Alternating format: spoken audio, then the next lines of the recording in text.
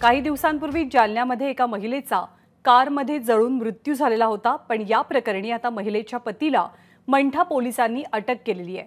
या पतीनंच आपल्या पत्नीच्या हत्येचा कट रचल्याचा आरोप आहे. टेम्पोनं कारला धडक देण्याचा कट पतीनं रचल्याचा आरोप केला जातोय.